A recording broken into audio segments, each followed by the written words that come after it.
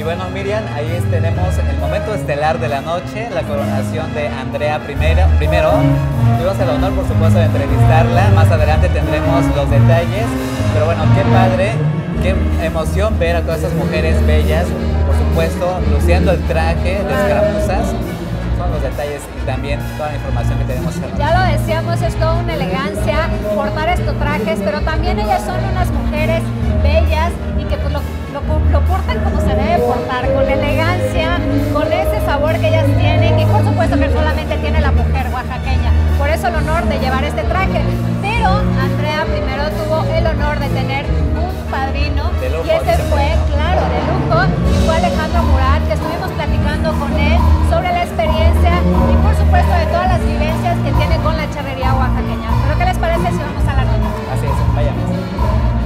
Amigos de MBM Televisión, tenemos ya en este foro al licenciado Alejandro Murat, quien es quien coronó a Andrea I en el marco del 50 aniversario de la Asociación de Charros de Oaxaca, Miriam. Así es, en esta ocasión se viste de lujo al tener un padrino de honor como es Alejandro. Y bueno, hoy Alejandro, en esta noche de coronación, ¿cómo te sientes? ¿Cómo vives esta fiesta? Bueno, la verdad es que estamos muy entusiasmados el día de hoy especialmente porque estamos pues en el mes patrio, ¿no? Y bueno, la charrería es nuestro deporte nacional, especialmente hoy eh, esta asociación regional de charros de Oaxaca cumple 50 años, así que por supuesto que está de fiesta, pero también es un gran momento porque se vive hoy la coronación de Andrea I. Y como bien lo platicábamos hace unos minutos, eh, este deporte, la charrería, nos define, nos da identidad. Son sus trajes los que transitan fronteras, los que le dan sabor, los que le dan color a nuestro país. Es este deporte nacional el que convoca a nuestras familias a salir, a, a vivir un momento con el caballo y a disfrutar juntos. Pero lo más importante es que es este la charrería la que nos, nos da identidad. Así que pues la verdad es que hay hoy mucho que festejar y me honra mucho, por supuesto, que me hayan permitido venir a coronar a Andrea Primera, a la que hoy a través de estas cámaras también le mando una gran felicitación. Sé que va a asumir su responsabilidad de promoverlo y por supuesto a todas las familias oaxaqueñas que hoy nos ven, bueno, que pues vean en la charrería una gran alternativa familiar para disfrutar y también para acrecentar la identidad de México. Hace rato hablando con los integrantes de esta asociación, incluso con quienes fueron escaramuzas y reinas también de esta asociación, se hablaba mucho del tema de la falta de difusión, de difusión, perdón, de promoción de este deporte. Sabemos que usted es un funcionario público a final de cuentas, hay varios también que están involucrados en este tema. ¿Qué compromiso se hace con esta asociación para darle este impulso, el valor agregado que se debe de tener para que tengamos mayores representantes de la charrería oaxaqueña dentro y fuera del país. Bueno, fíjate, eh, es importante platicar en alguna etapa de mi vida profesional, cuando fui director del sistema de radio y televisión mexiquense, ahí me tocó promover un programa de charrería que trascendía fronteras. Era uno de los programas que más se seguía, no solo en México, sino a nivel internacional. Y bueno, pues me parece que es un tema de convicciones. Eh, poder eh, hacer equipo con aquellos grandes exponentes de este nuestro deporte nacional eh, celestino. Así que al final del día, hoy, al venir acá, pues también nosotros asumimos ese compromiso de que en cada momento que podamos lo podamos promover, pero empezando por hacerlo uno mismo, con su familia, como bien te comentaba, y compartir. Y en lo que uno pueda ayudar, por supuesto, también ayudar a que se haga más grande y por supuesto aquí en Oaxaca con la Asociación Regional de Charros de Oaxaca, que hoy cumple 50 años. ¿eh? Se dice fácil, pero al final ahí está el compromiso de todas estas familias, pero también hay que decirlo, uno se la pasa bien, así que hay que probarlo si no lo han probado. Pues muchísimas gracias, licenciado, por acompañarnos en esta noche. Por supuesto, el espacio de MBM Televisión está abierto pues para todos aquellos interesados en la charrería mexicana, oaxaqueña, por supuesto. Y bueno, bienvenido una vez. Pues antes que nada, agradecerte a ti, Miriam, a ti, Celestino, pero especialmente a su auditorio. es eh, pues la oportunidad de poder tener esta práctica y de entrar a sus hogares y por supuesto a MBM la oportunidad a nombre de los charros de Oaxaca eh, esta oportunidad de poder estar con ustedes.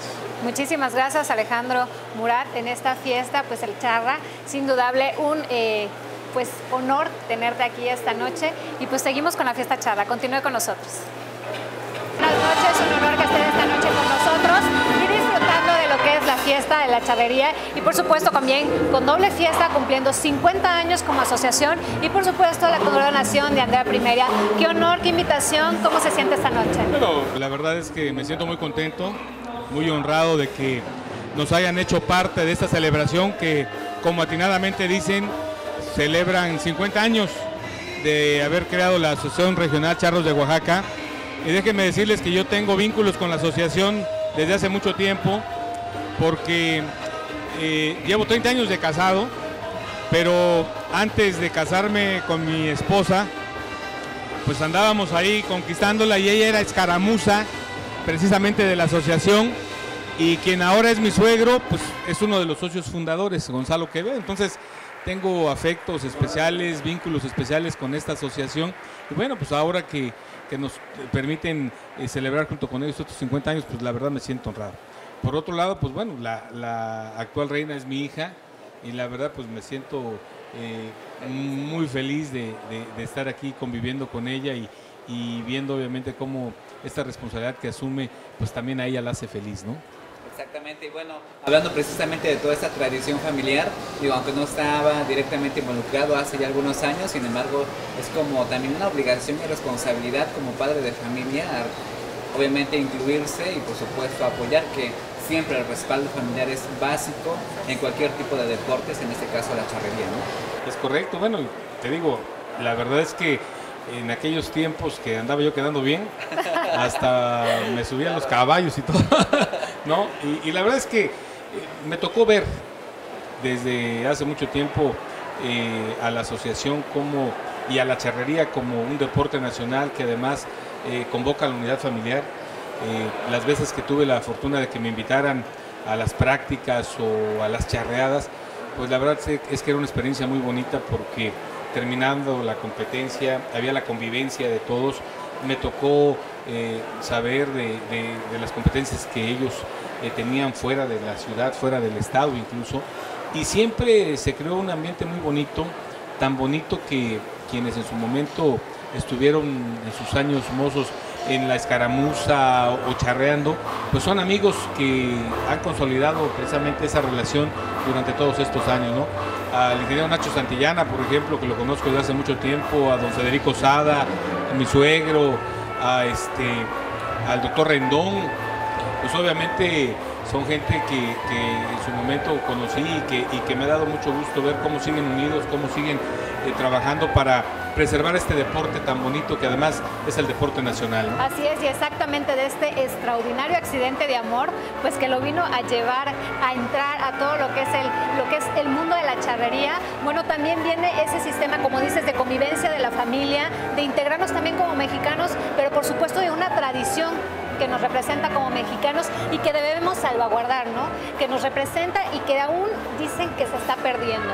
¿Cómo podemos reavivar? Bueno, yo creo que es importante darle mayor difusión.